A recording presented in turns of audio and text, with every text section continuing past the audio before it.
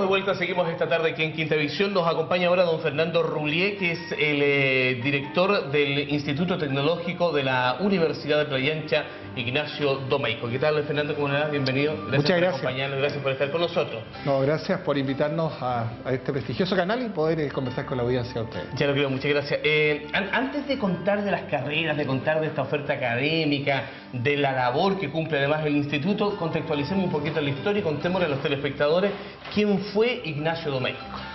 Bueno, Ignacio Domeco, en corto, es una inmigrante polaco de los sabios que viene a Chile a explorar eh, distintas eh, actividades de tipo científico. Recorrió, digamos, el país, recorrió fundamentalmente la minería, eh, fue rector de la Universidad de Chile, investigador, eh, y por lo tanto yo creo que es un gran honor que nosotros, como también heredero de la Universidad de Chile, este tecnológico lleve su nombre.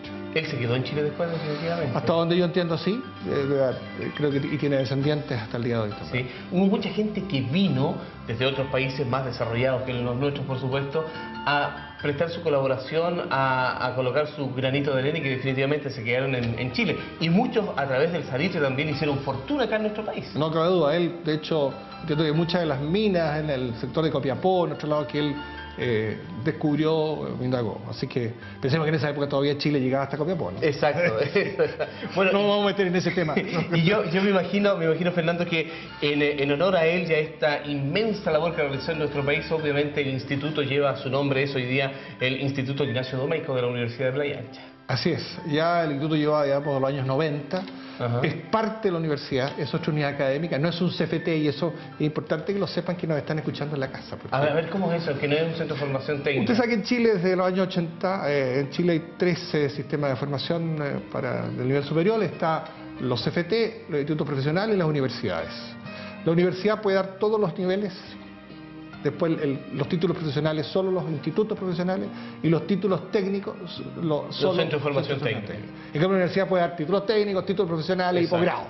En el caso nuestro, como somos parte de la Universidad Playa Ancha, eh, somos una institución que nos distingue porque estamos acreditados, y son pocos, ¿ah? ojo, en Chile básicamente las, las universidades que están en el CRUZ están acreditadas, Eh, muchas otras no están acreditadas.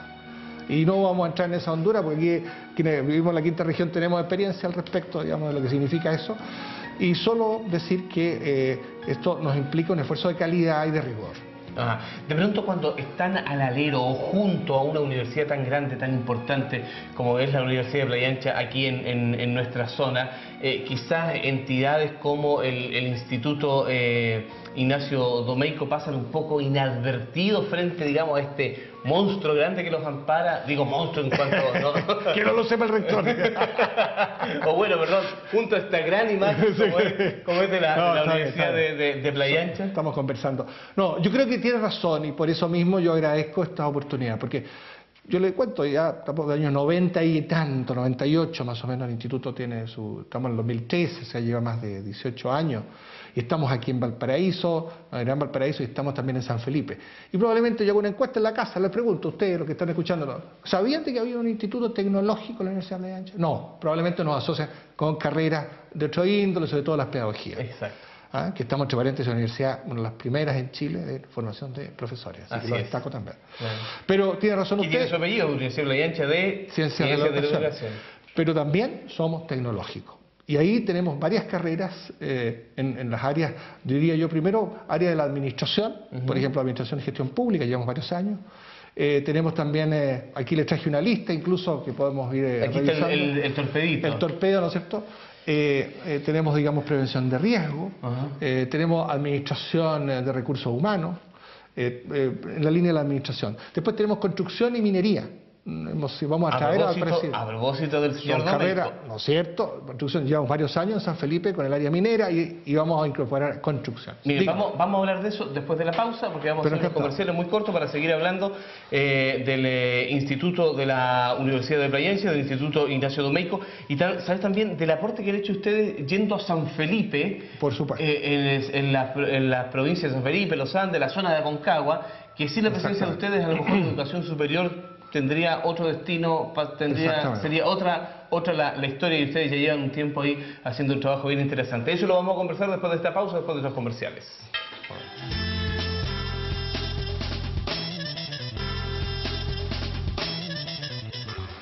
Eh, a ver, eh, Fernando, lo que yo decía hace un instante nada más antes de la, de la pausa, ustedes han hecho un aporte importante en San Felipe, a lo mejor la suerte de la educación superior en esa zona de Aconcagua hubiese sido muy distinta eh, sin la Universidad de, de Playa Ancha. Bueno, usted toca el tema del compromiso que esta universidad tiene con la región. Yo creo que ese fue un proyecto que nació también de los propios vecinos, de la autoridades de la época, y hoy día estamos muy contentos de estar allí eh, contribuyendo, esperamos, con tanta oferta en lo que es la formación de pregrado como esta oferta técnica. Eh, eh, también se hacen, hemos tenido eventos, hemos tenido eventos de minería, hemos tenido programas de capacitación para la pequeña minería, junto con la Ceremi y con distintas asociaciones de empresarios de la zona. Así que usted tiene mucha razón. Yo creo que eso refleja el compromiso con la ciudadano de esa, del Valle de la Concagua y que lo queremos seguir profundizando con esta apertura de carreras que tenemos para años de educación. Ya lo creo. Y esto de, elegir eh, carreras que están directamente ligadas a la minería, hoy día, no sé si llamarle un boom, una moda, pero hoy día claramente hay una preocupación o hay una, una, actividad laboral importante, fuerte, potente en las zonas mineras y Aconcagua no está ajeno de ello con todo lo que pasa en Saladillo. Sí, mire, yo, yo quisiera desmitificar esto del boom. Aquí tengo un estudio reciente, se lo quiero mostrar, que hemos sacado, quienes somos parte de la red de instituciones tecnológicas del Consejo Rectorio. Y aquí se demuestra cómo, nos hemos dado cuenta, es un poco es una obviedad. Chile es un país minero. No, pero no me cabe Entonces, lo único que dice el estudio que ha, estado alineado entre demanda y oferta, las necesidades de la industria y la oferta es la minería. Muchos otros sectores, eh, porque hay que formar capital humano, hay que, hay que formar eh, personas para que vayan a trabajar. Y, en esto ha sido muy visionarios quienes hemos estado desde hace mucho tiempo formando eh, técnicos en nuestro caso o profesionales para la minería. Por eso ahora hemos agregado construcción, que es otro de los sectores, y, esperamos el día de mañana ¿Por qué día se habla entonces de este boom de la minería? ¿Por qué? ¿Porque hay proyectos más grandes? ¿Porque esto llama mayor la atención? ¿O, siempre eh, ha sido una actividad latente, demandante de mucha mano de obra? Yo creo que en Chile, digamos, ha habido el último tiempo una gran inversión en minería, tanto proyectos materializados como proyectos por eh, realizar, y eso ha traído que eh, vengan, ¿no? demanden personas calificadas para que trabajen en ella. Entonces, ¿qué que ocurre? La construcción saca de la agricultura. Claro. La minería le saca a la, construcción. Entonces, y ahí va el ciclo. De hecho, hay zonas, a propósito de, la, de la agricultura, hay zonas donde hay muchísima actividad minera, mucha obra, mucha faena minera y que falta gente para trabajar en el ámbito de la agricultura. Por supuesto. Porque por el nivel de remuneración prefieren ir o a la construcción o al área de la minería. Claro. Ahora, que no nos equivoquemos, ¿ah? y eso de los es cierto que tiene buenos sueldos, pero ¿quién tiene buenos sueldos? El que está preparado, el que tiene calificación. Y ahí están ustedes. Y ahí está nuestra obligación o sea, de la mano de, obra, la mano de obra calificada. Exactamente. La, mano de obra que, tiene, que tiene una instrucción. Bueno, y ahí ustedes están con distintas carreras, voy a volver a sacar el, Saque el, torpedo, no el conductor. Porque entre Valparaíso y San Felipe, entre Valparaíso y San Felipe están divididas las carreras aquí en Valparaíso, las carreras de la minería y la construcción, técnico en construcción, técnico en minería, técnico en gestión ambiental, mención minería, administración de la, eh, administrador de la gestión pública, carreras de salud y prevención, técnico en enfermería, analista químico, técnico en prevención de riesgo, que me imagino usted técnico en prevención de riesgo puede seguir después para terminar como un profesional del área, un ingeniero en prevención por supuesto, de riesgo. Por supuesto. Ah, no se olvide usted que estamos en Chile en una lógica de formación continua, claro. que de algún modo hemos ido, muchas de estas carreras están modelizadas por competencia, lo cual ayuda a este proceso de formación continua. Y la otra novedad que tenemos para quien nos está escuchando en su casa es que si alguien sabía el tecnológico nuestro es que era vespertino. Claro. No, este año tenemos también en algunas carreras diurno. Vamos a tener dos ofertas diurno. Prevención de riesgo, por eso me acordé, porque usted claro, para el 2014. Y enfermería. Ajá. Bueno, y las carreras de administración y TICS son tecnologías de, claro, gestión de tecnologías de la información y comunicaciones. Bueno, aquí estamos usando estas tecnologías. Ya lo creo. técnico en administración logística y técnico en gestión de las TICs. Eh, ¿por qué Fíjese, perdón, logística. es importante en un puerto de Valparaíso como estamos acá o en los Andes, ¿no? Claro, puerto terrestre, exacto.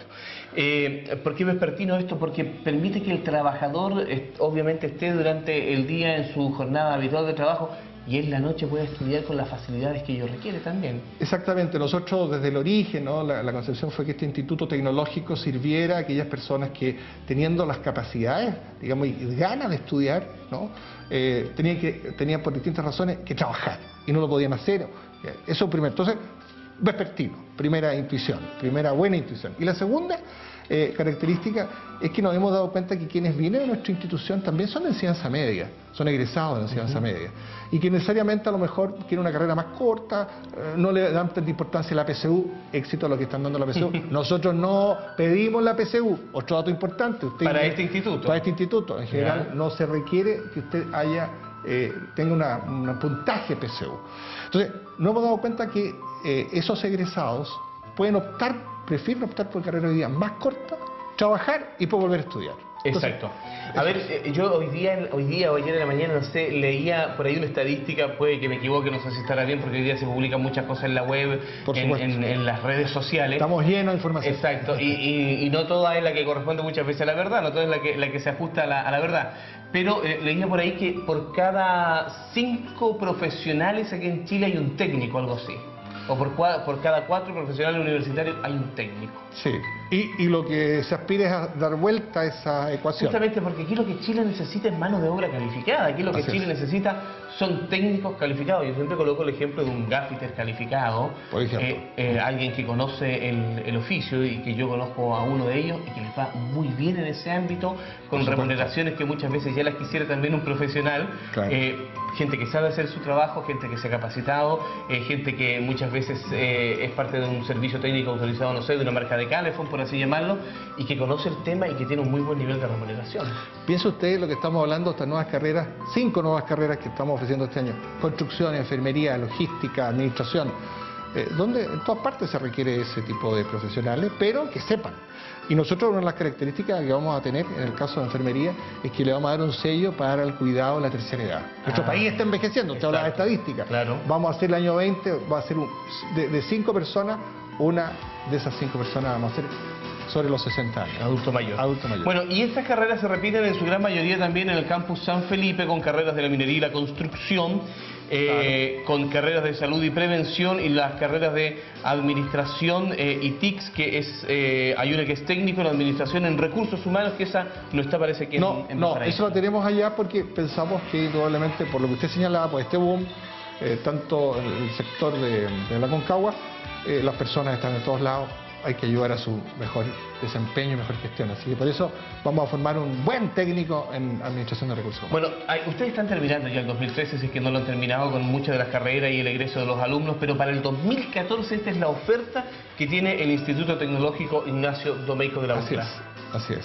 Es una oferta que ha sido eh, hecha eh, considerando cuál es el desarrollo económico de la región, qué empleabilidad les espera a estas personas y eso quiero destacarlo y lo subrayo en el sentido de que es muy buena la empleabilidad. Yo le diría, estamos hablando sobre el 70%, 80%. O sea, carreras que requieren mano de obra. Requiere, áreas económicas que requieren este tipo de mano de obra. Así que quien va a ir a la segura, usted joven, usted papá, dígale a su, a su hijo que, o a su hija que venga a vernos, venga aquí a la universidad a Playa Ancha, en el caso de Valparaíso, o visítenos en San Felipe eh, donde también llegamos, San Felipe Los Andes, con Cinta Visión. Un saludo para Dos cosas importantes. Ustedes aquí no están formando tampoco una falsa expectativa respecto de lo que va a ser el desarrollo profesional de quienes mañana a lo mejor son, son, sus alumnos. O sea, están contando y se están apegando a la verdad en el sentido de que les están diciendo aquí hay un campo laboral en estas áreas económicas. Así es. Y usted lo puede confirmar, es cosa que vaya a mifuturo.cl, vea las carreras que tienen más perspectiva y va a encontrarse con esta oferta.